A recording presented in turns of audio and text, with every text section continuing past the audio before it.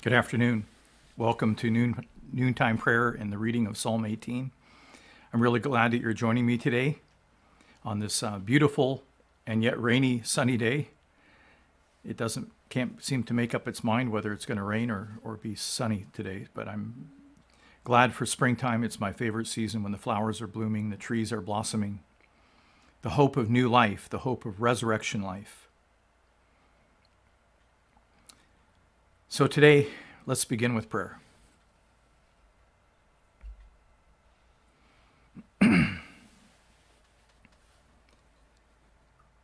Father, thank you for the beauty of creation. Thank you for mountain majesty, for deep valleys, for sunny days, and for rain. Thank you for the birds that soar for the hummingbirds that flit about, for the songbirds that sing out your glory,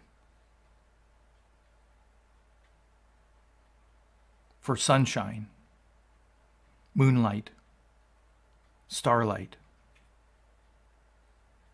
everything proclaiming your glory and your goodness all around us. Father, I pray that you would give the world eyes to see that you would give us eyes to see beyond our own capacity, Lord. That you would grant us a spirit of revelation and knowledge, a spirit of revelation, Lord, in the knowledge of you.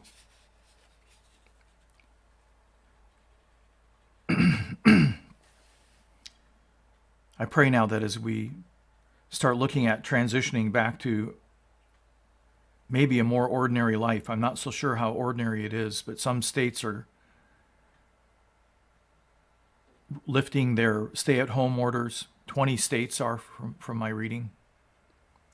Father, I pray that you would give gov- governors and our president and the leader of the House, Nancy Pelosi, and the leader of the Senate, Mitch McConnell, our own governor, Governor Inslee, and our state representatives and our state senators, and even our city officials, our mayors, Lord, that you would give them all wisdom and knowing when to start things back up and knowing when to wait. It would seem prudent that if we start up too soon, the virus will just take off again. And so, Father, I pray that it would be in your timing. In, me, in the meantime, Lord, I pray that you would give people around the world and in our own country, in our own states, and the cities within which we live, that you would shine the light of the glory of God in the face of Jesus Christ. That glory that we see in the face of Christ as he hung on the cross. That glory that he has now seated at the right hand of God. That you would shine the light of the knowledge of the glory of God in the face of Christ into human hearts all around the globe. We pray for a great revival, Lord. We ask that you wouldn't abandon the world we ask that you wouldn't turn your back on the world. We ask that you would remember us, that you would remember those who have entrusted our lives into your hands. And Father, in the midst of it, I pray that you would break us of self reliance, self sufficiency, self aggrandizement, self fulfillment, and even self esteem, Lord. What we need, Father, is Christ esteem. For we love because Christ first loved us, because God first loved us. And so, what every human being on the planet needs to know is how much you love us. Your word tells us that in this is love, that while we were yet sinners, while the world was still wallowing in our sin, all of us, Lord, in the mystery of time, you died for the unrighteous.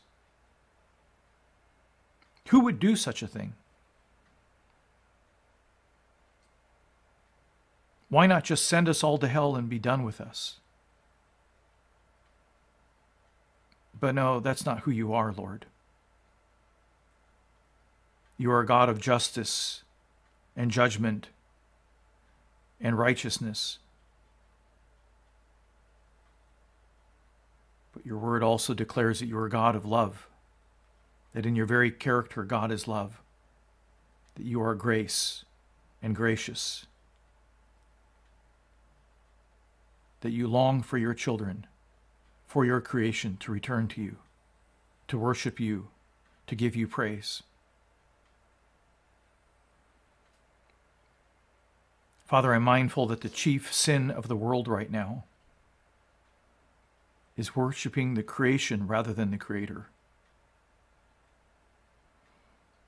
And we, when we turn to worshiping the works of your hand, hands instead of you, it introduces all kinds of sin into our lives, all kinds of consequences associated with those sins. Even within the church, Lord, we have worship self, thinking that we could produce a righteousness pleasing to you, thinking that we could produce a life pleasing to you out of our own accord and out of our own strength and out of our own flesh. Forgive us, Lord. Help us to be wholly and entirely reliant on you, looking to you for everything, for every part of our life, for wisdom, for strength, for healing, for honor, for joy, for peace, for hope, for grace, and for your immeasurable and unfathomable love, Lord. Thank you again for the beauty of creation, for mountain grandeur, for rivers and lakes and seas and oceans. The whole creation praises you every moment, save one part of the creation, the pinnacle of your creation, human beings. We have turned our back on you, Lord. As a nation, as a world, Forgive us, Lord. Show us mercy, Lord. Show us the kindness of repentance. That kindness that leads us to repentance, to a change of mind. May people come to know, may you persuade the world that Jesus is the Son of God, that He is God in the flesh, and that He is Messiah. He is the Christ. He is the Savior of the world. He is the one who bore the entire burden of the sin of, of the world in his own body and offered his life up as an atoning sacrifice, as a covering sacrifice, as a forgiving sacrifice that we might live. So we pray that you would pour out your Spirit upon the world and that your Holy Spirit would convict hearts and that you would soften hearts. Do not harden our hearts, Lord.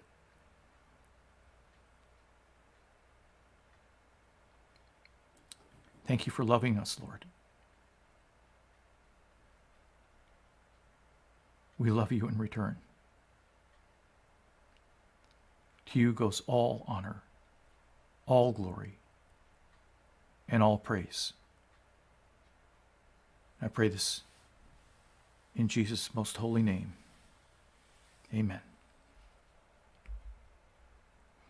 Again, thank you for joining me. We have um, a rather long psalm in front of us, Psalm 18. It's 50 verses. And I, as I thought about contemplating going through verse by verse, it would have been impossible. We would have been here till dinner time. So I spent some time formatting the psalm with video behind it that might give some understanding to it as we work our way through it, reading it.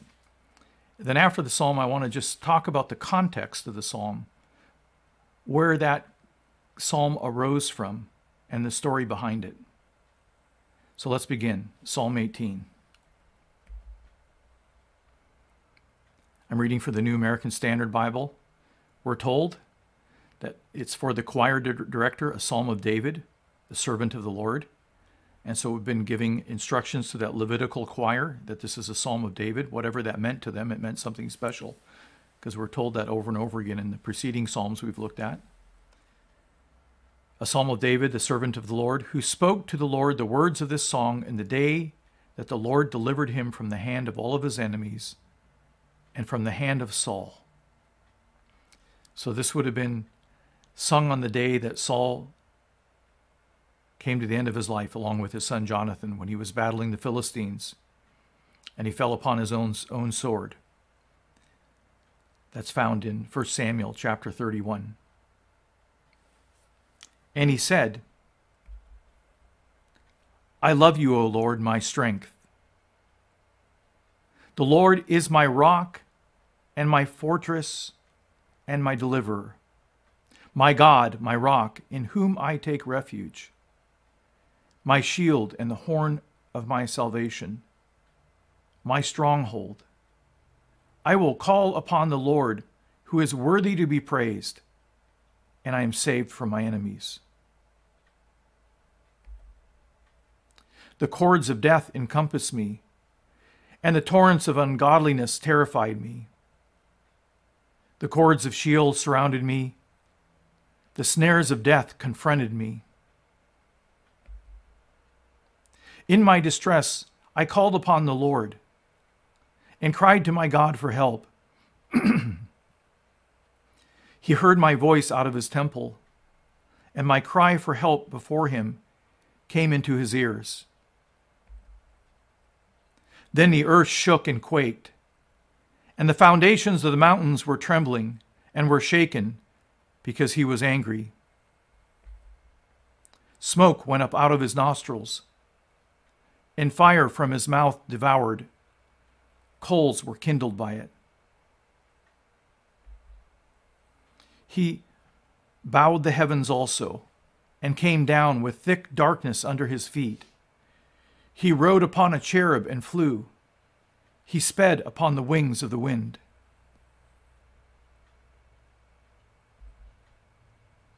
He made darkness his hiding place, his canopy around him, darkness of waters, thick clouds of the skies.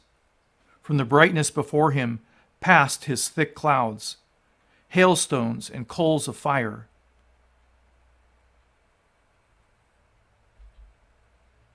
The Lord also thundered in the heavens and the Most High uttered his voice, hailstones and coals of fire. He sent out his arrows and scattered them, and lightning flashes in abundance and routed them.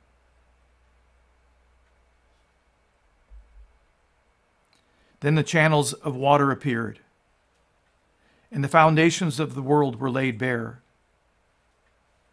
At your rebuke, O Lord, at the blast of the breath of your nostrils, he sent from on high. He took me. He drew me out of many waters.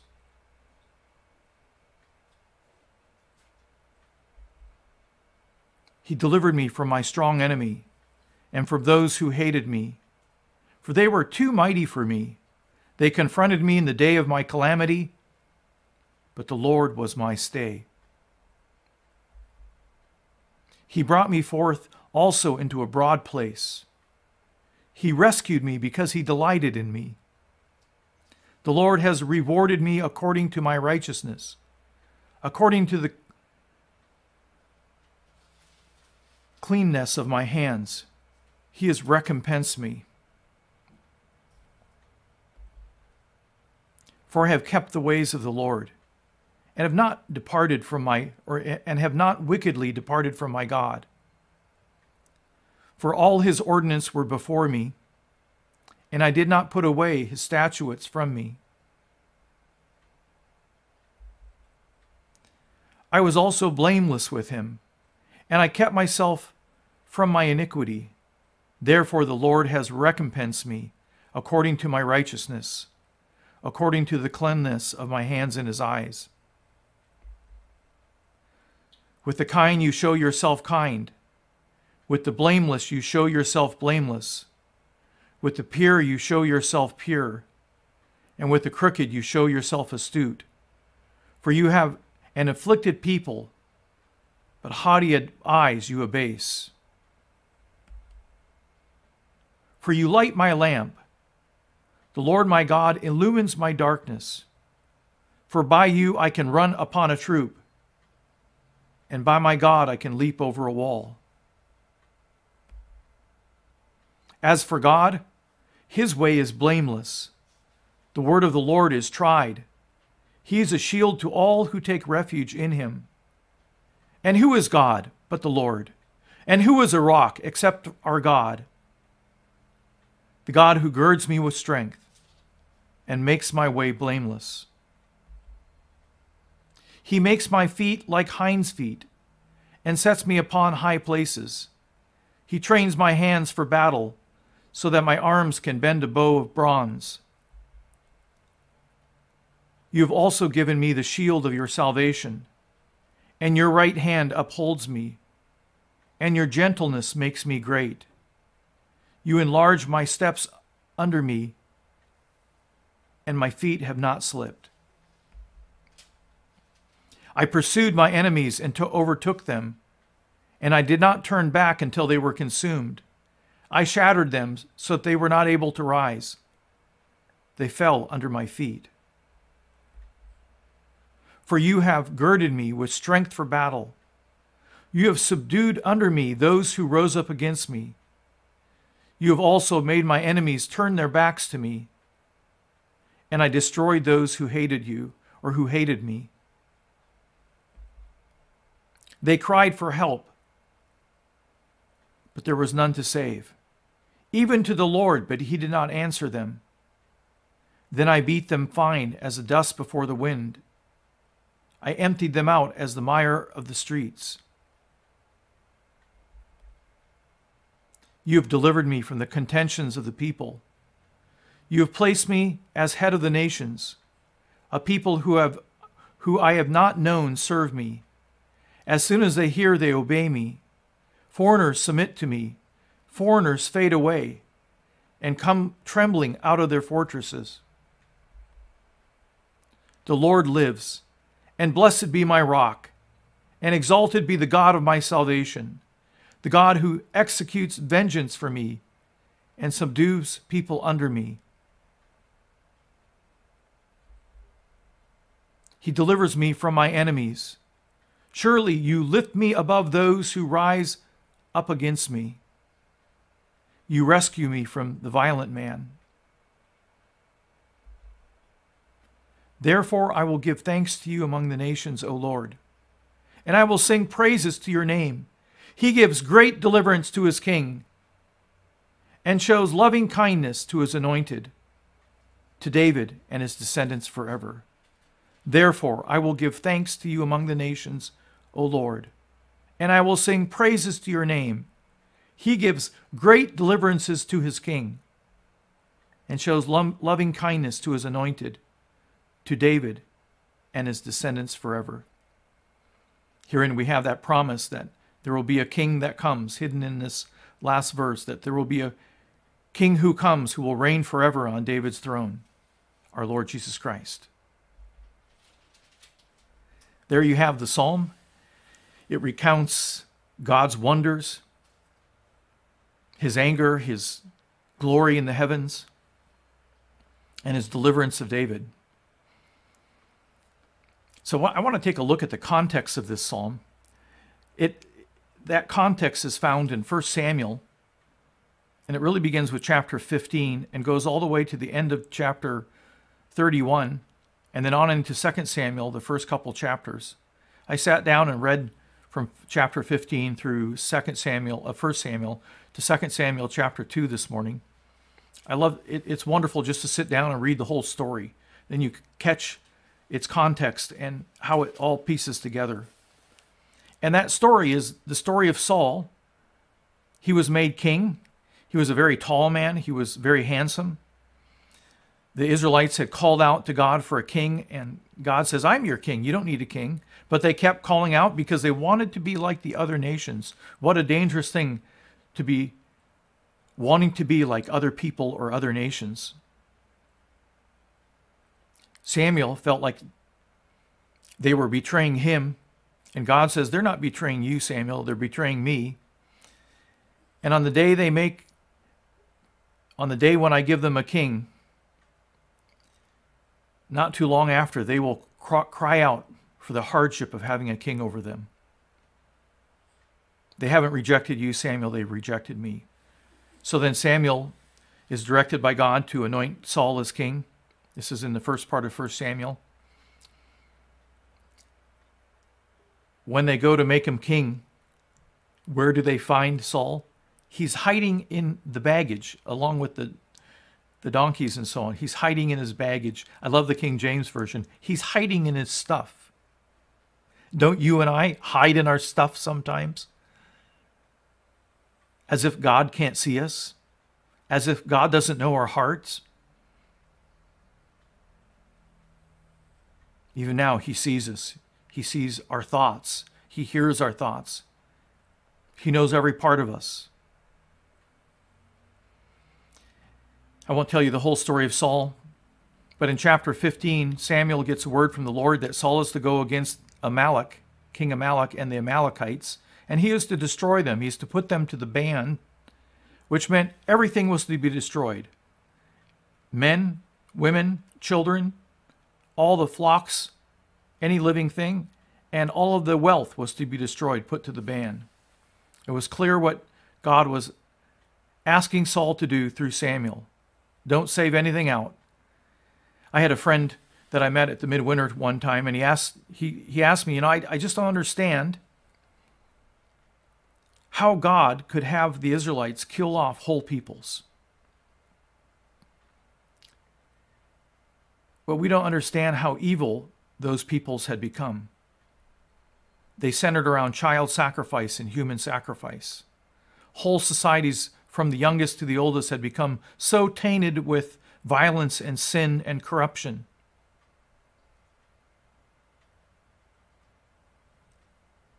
That there's no turning back. Remember, sometimes we would go on vacation and we would water our plants. And we, when we would come back, we wondered if our plants would survive. Were they pla- past that wilting point? There's a wilting point at which plants can't survive even if you water them. Revelation warns us that when people get into the deep things of Satan,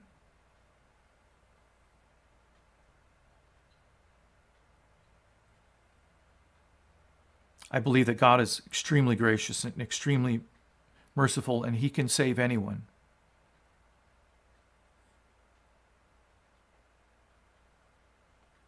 So Saul goes into battle and they kill all the Amalekites, save one. They save the king. Strike number one, he didn't kill the king. That was part of the people he was to destroy.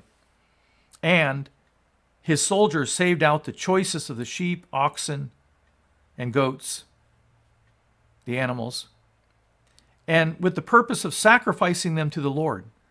I know the Lord called us to kill them all, but that would be a waste. Shouldn't we make a sacrifice to the Lord out of them? We're always coming up with contingency plans. We see it all through the Bible. Abraham made con- contingency plans in the promise of having a son. Isaac made contingency plans. Jacob was Mr. Contingency himself, always a schemer. And I look at those men's lives and even Sarah's life, and I wonder why, God, did you choose them?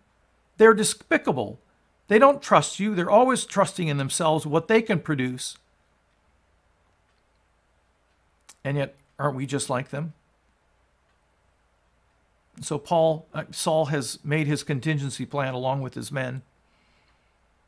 And as a result, Samuel says, the kingdom has been removed from you. And Saul says, but look at, I, I, I've done the sacrifices. I, I kept those animals out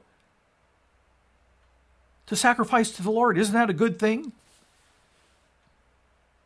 And Sam, Samuel says to him, Isn't it obedience to obey the Lord more valuable than any sacrifice?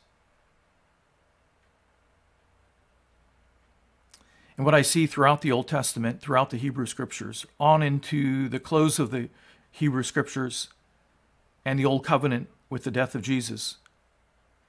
You see people constantly failing him, constantly disobedient, constantly rebellious, constantly looking to ourselves, looking to our own way, looking to our own wisdom, looking to our own strength and capacity to live the right kind of life before God.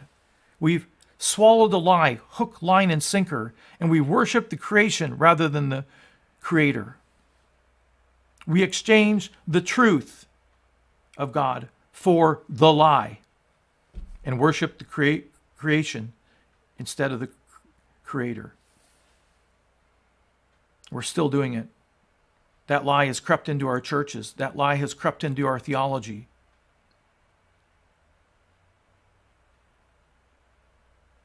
We can do it, Lord. We are able, like James and John. Can you bear the cup that I'm going to bear? Yes, Lord, we are able. They had no idea what they were saying. As a result of Saul's disobedience, the kingdom is removed from him. And Samuel is led to go and find the new king. He's led to, I think it's Bethlehem or is it Hebron? I don't remember where Jesse is, but he's led, and all of seven of Jesse's sons are led before Samuel. The Lord keeps telling Samuel, No, this isn't the one, that's not the one. Until all seven sons have paraded before him, and Samuel asks Jesse, Is this all you have? And Jesse says, Well, the youngest is out herding the sheep, meaning he's just the youngest. He's, he's not much of anything. So Samuel calls for him to be brought before him, and the Lord tells Samuel this is the one, so he anoints him to be king. We're told that he was ruddy in complexion, that he was tall and had beautiful eyes. He was handsome, not tall. He was handsome and had beautiful eyes. This would be shepherd king, this boy king. Then you have the story of Goliath, where this little young lad, David, goes against Goliath and also in a sense, sets himself against the armies of Israel and Saul, who were too cowardice, too uh, lacking in their understanding that they were in covenant with God and God would be their covenant watchman, that he would be their warrior, that he would be their shield, that he would protect them. But David knew those things. He had fought bears, he had fought lions. So he ends up killing Saul with a sling and a stone cutting off his head. And the Philistines were routed that day. But as David came into town, people were singing, Saul has killed his thousands, but David his tens of thousands. And Paul, Saul's pride got the better of him. Instead of rejoicing with this young man who had routed this, their enemy, his own pride rose up, and now he was dead set against David from that day on. It's kind of a strange thing because he brings David into his house. The Spirit of the Lord was removed from Saul, and the Spirit of the Lord upon his anointing with Samuel fell upon David. And instead, God sent an evil spirit. That's strange, but God sent an evil spirit to terrorize Saul. And so Saul's servant said, let's, let's bring and find a master musician, a harpist, who can play for you. And when he, he plays for you, the evil spirit will depart from you. This sense that the Lord inhabits our praises and our music. Enemy doesn't like to listen to that stuff. So David comes and he moves into the household of the king as his armor bearer but also as the king's, how would you say it? The one who provides him solace through playing the harp for him. Within a chapter, Saul is throwing spears at David because of his jealousy. David and Jonathan, Saul, Jonathan is Saul's son. They have a great love for each other, this wonderful friendship. They make a covenant. David comes to Jonathan, Jonathan and said, Your dad is trying to kill me. And Jonathan says, No way, he's not trying to kill you. David says, Well, I'm going to be absent for, from his house for three days and see how he responds. And if he responds with anger, then you know that he's out to kill me and warn me. And we have that wonderful story of the little boy going out to f- retrieve the arrows, and Jonathan had instructed the little boy, if I shoot them beyond beyond, then you must depart. If I shoot them on this side of the little boy, then you are welcome to come home. And of course, Saul is out to kill him, kill him, so Jonathan departs.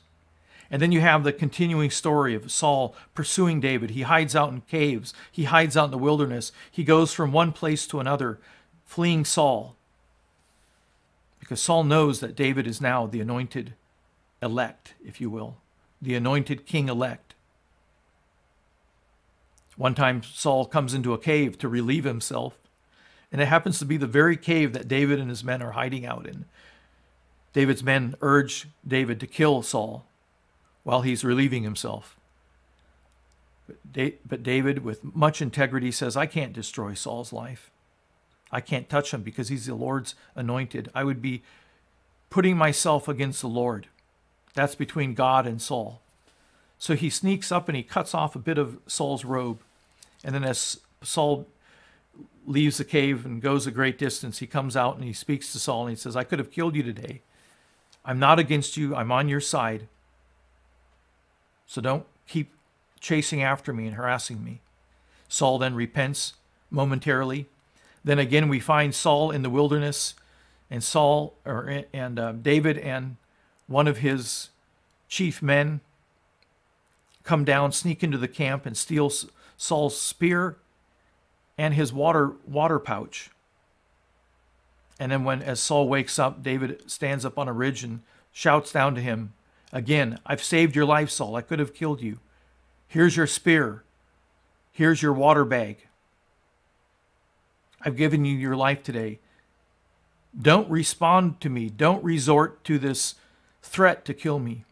Saul repents again for the moment, but continues to pursue David. David had the opportunity twice to kill Saul and to take the kingship by force. But instead, David put his trust in God. David actually goes and lives amongst the Philistines and starts attacking Philistine cities from within their own country. But unbeknownst to the Philistine leaders and the king, they don't know he's doing that. They think he's attacking Judah, the cities of Judah. And finally, there's this huge battle between Saul and the Philistines and Jonathan. Jonathan is killed in battle. Saul is shot by the archers, knows that he's going to die, asks his armor bearer to kill him, and the armor bearer, the bearer of his shield, refuses. So Saul asks him to give him his sword, and he falls on his own sword and dies. And then the armor bearer, bearer falls on his own sword and dies. When the Philistines on the next day find Saul's body and Jonathan's body, they cut off their heads, take their bodies, and take them, parade them throughout the, the kingdom of the Philistines, and then finally attach Saul's body to a wall. I think it's the men of Gilead, if I remember right. They go by night and retrieve Saul's body, burn his body, and then bury his body. When David hears of Saul's defeat, he sings a song of lament in 2 Samuel chapter 1. So he was lamenting that God had allowed Saul to be taken out. It would be several years before David is finally enthroned in Jerusalem as king. But that's the context. In the psalm, it sounds like David is taking credit for pursuing his enemies. And certainly there was a lot of enemies during all those wanderings that he pursued, and he, he had a lot of blood on his hand. He killed a lot of people. Yet re, he refused to take matters into his own hands. He looked to God and trusted God that he would see his enthronement would take place, that he would see Saul brought to the end of his life or to the end of his kingship. And God did it through the hands of the Philistines. Throughout the Hebrew scriptures, we see this same pattern in people's lives and in nations' lives. People go after idolatry. Saul's sin was not only destroying the Amalekites, but he went to the witch of Endor to seek counsel from Samuel because God wasn't answering him. He goes to a medium, to a witch. My goodness. And every time the Israelites would, back in the Judges, every time they would go after idolatry, then the Lord would send an oppressing foreign nation to oppress them. And then over a period of time, the Israelites, the Hebrew people, would call out to God. And then God would send a judge or a king to deliver them. It was a judge in, in the book of Judges. And then they would live in peace for a while until they forgot and go after idols. When we go after idols, the consequences of it are not good. The idol of American culture is self. The sacrifice of American culture is abortion. We are no different than the enemies of Israel, sacrificing our own children to the God of selfishness. And we think that God isn't going to do anything about it. How presumptuous. How naive.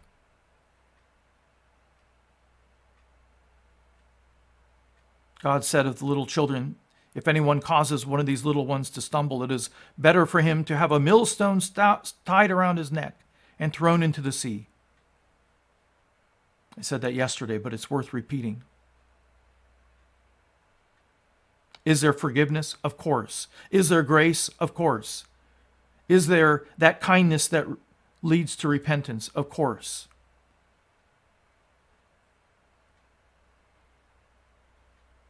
But we can never presume on God.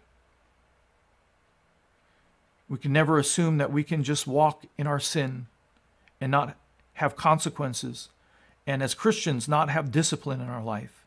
He will discipline you, and He will discipline me out of his great love for us, out of his graciousness to us. So, what can we learn from this psalm and from the story of Saul and David? I think one of the chief points is don't come up with contingency plans. Trust God. Am I saying don't go to doctors and that sort of thing? No, may it never be.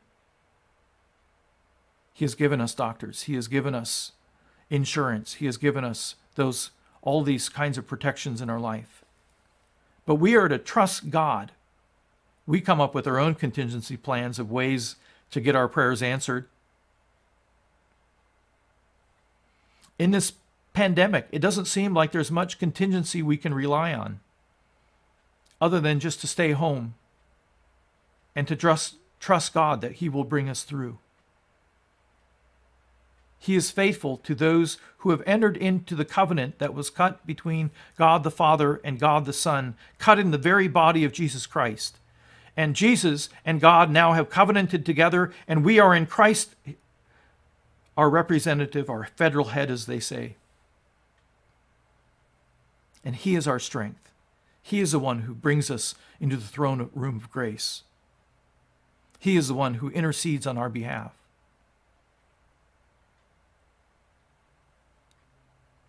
Overall, the psalm tells us not to look to ourselves.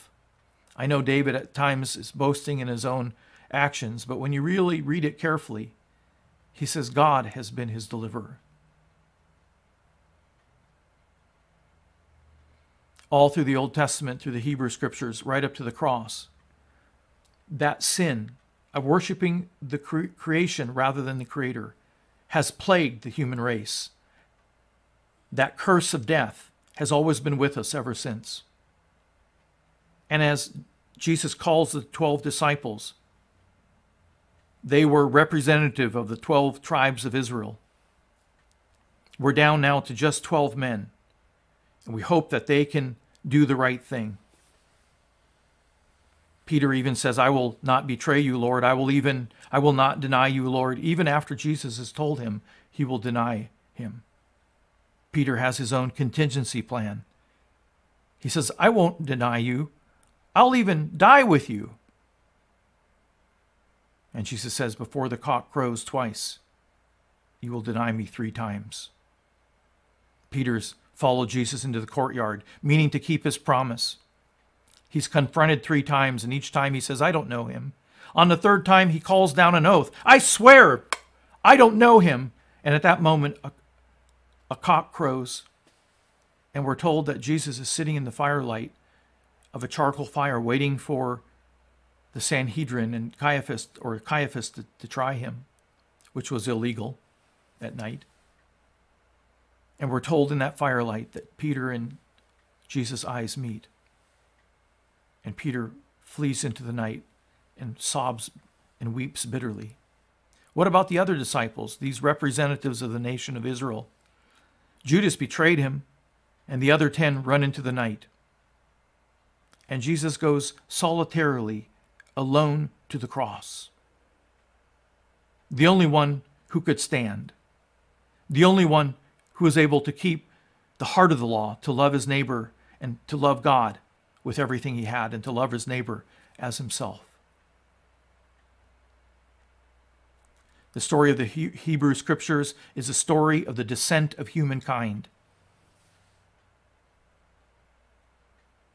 Until all we're left with is the promise of a Messiah, the promised Messiah here on the earth, now offering up his most holy life as a sacrifice that you and I might live.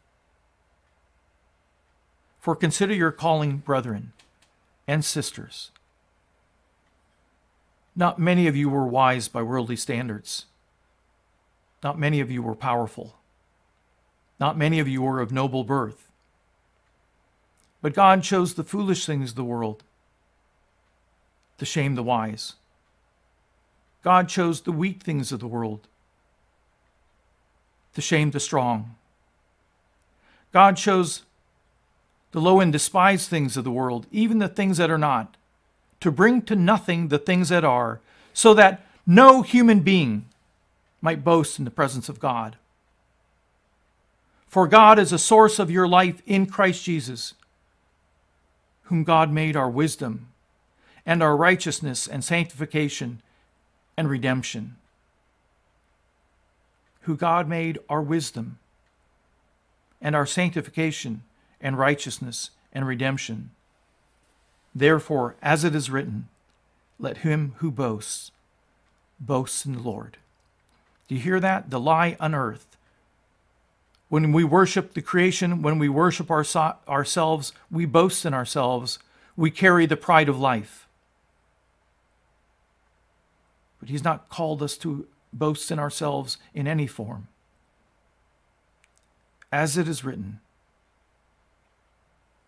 let him who boasts boast in the Lord. He is our wisdom.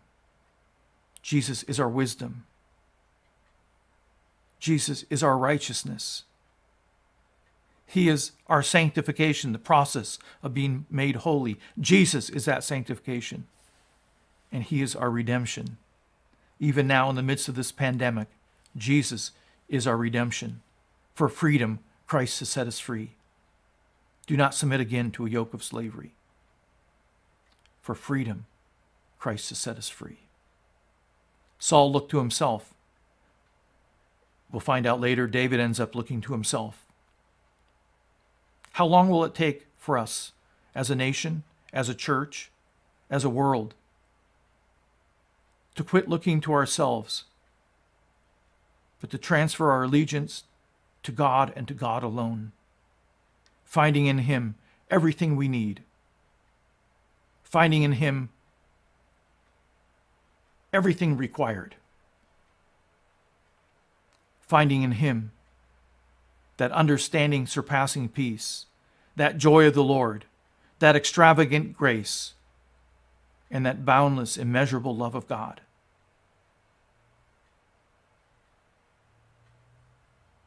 Not my will, but your will be done, Lord. Not our will, but your will be done, Lord. Amen.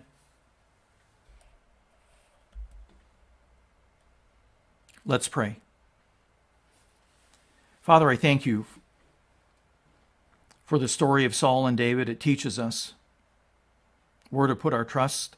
David, in that period of life of his life, didn't take matters into his own hands. He looked to you and let you be the one who, who fought his battles. Knowing that when he had to fight, you were calling him to the battle and you were empowering him to fight. You were empowering him and his men to find victory. You brought Saul to nothing. You ended Saul's life. Saul had set up contingency plans.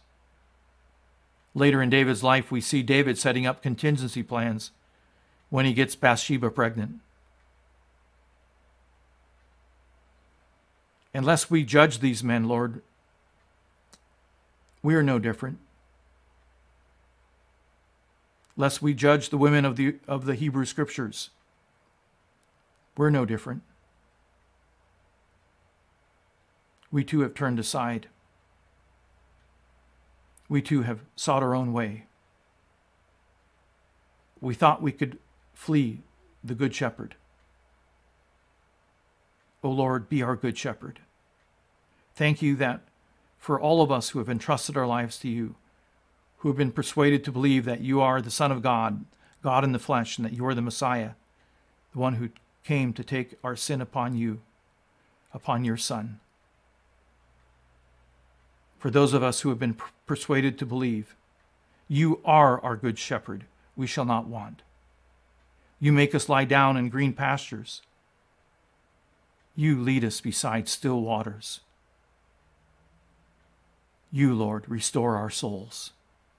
You lead us in paths of righteousness for your name's sake. And even though now we are walking in the valley of the shadow of death, we fear no evil, for you are with us. Your rod and your staff, they comfort us. You prepare a table before us in the presence of our enemies, even the enemy of COVID 19. You prepare a table before us in the presence of our enemies. You anoint our heads with oil, with that joy of gladness. Our cups overflow. Surely goodness and mercy shall follow us all the day, days of our life. And we will, we shall dwell in the house of the Lord forever. Thank you for being our good shepherd, Lord. I pray this in Jesus' name. Amen. Well, thank you for joining me today for Psalm 18 and the reflection on Saul and David's lives. So, my final question to you is what contingency plans are you working on right now? What contingency plans am I working on? Look to the Lord.